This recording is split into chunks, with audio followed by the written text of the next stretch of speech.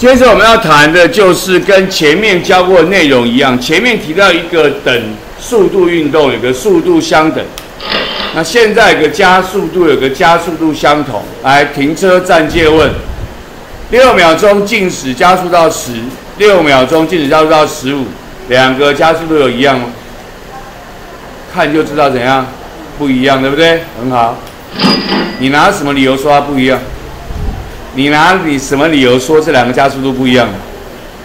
你问问你自己，你用什么理由说它不一样？再来，一个是五秒加速到向西时速六十，一个是五秒加速到向东时速六十，这时候两个加速度有没有一样？你们也摇头不一样啊？你用什么理由说它不一样？你用什么理由说它不一样？就带出来这件事。我们说过了，向量相等必须怎么样？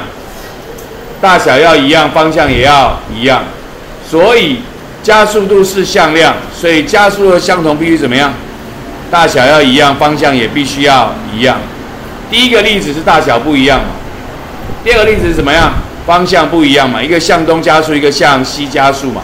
所以方向不一样。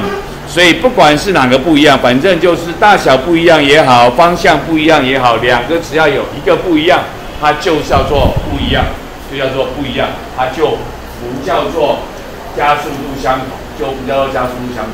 OK，让你理解一下什么叫做加速度相等。那么，如果我随时随地的加速度都一样，那就表示出来做什么运动？等加速度运动。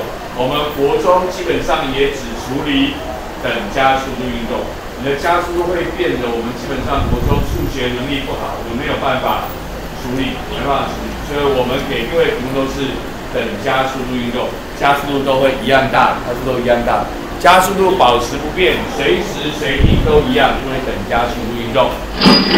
那么等速度运动一定是。直线运动，但是等加速度运动不一定是直线运动。比如说水平抛射，来，你想象一下，你现在平平的丢一个石头下去，石头怎么动？弯弯的掉下去，对不对？不是直线，对不对？可是这个过程是一个等加速度运动，它都受到地心离的影响，它都有一个重力加速度。它的加速度都一样，都是所谓的重力加速度。我们后面会再提一次，我们会不会教？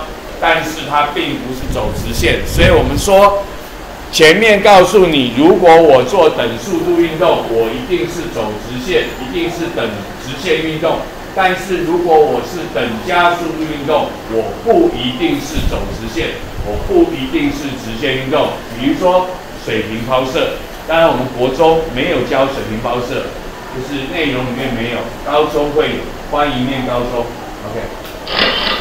那刚才我们说过，我们前面教的那个公式算出来的叫做平均加速度。那当然也可以有瞬时加速度，某一个瞬间的加速叫瞬时加速度。那也一样，基本上我们国中的数学能力不太好处理，什么叫做瞬时加速度？我们就当做它是一样，因为我教的叫做等加速度运动，所以随时随地的加速度都一样，因此平均就会等于瞬时，平均就会等于瞬时啊。当然，我们的公式里面是有公式可以求出瞬时啊，啊，但是基本上。我们大部分呢就是用平均或怎么样来处理这个部分，反正呢就告诉你有一个平均加速度，有一个瞬时加速度，瞬时就是某个瞬间，但是刚才给的公式算出来叫做平均，大家算下平均，啊，你能够理解就可以了，这样你各位知道一下简单的小小的概念而已，OK。